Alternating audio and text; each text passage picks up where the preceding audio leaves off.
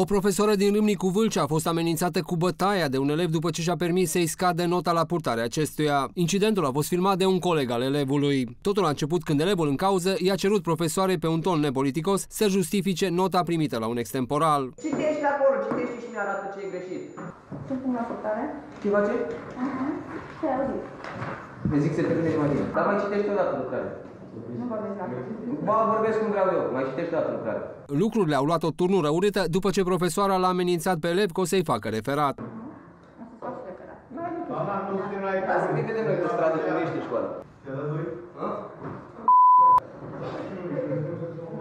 Dar ești o boată, nu în școală. Elevul care a amenințat-o pe profesoară a mai avut probleme cu legea. Tânărul, pe nume Sebastian Roșca, a rămas în 2016 repetent, iar apoi a renunțat la școală. Anul acesta s-a întors în clasa 11 la Colegiul Tehnologic Capitan Nicolae Preșoianu din Râmnicu Vâlcea. Originar din Ognele Mari, tânărul a mai fost cercetat în urmă cu 3 ani pentru tâlhărie. Atunci, pentru că era minor, a fost pus sub control judiciar. După ce a amenințat-o pe profesoară, poliția s-a autosesizat, iar pe numele elevului a fost emisă o ordonanță de reținere.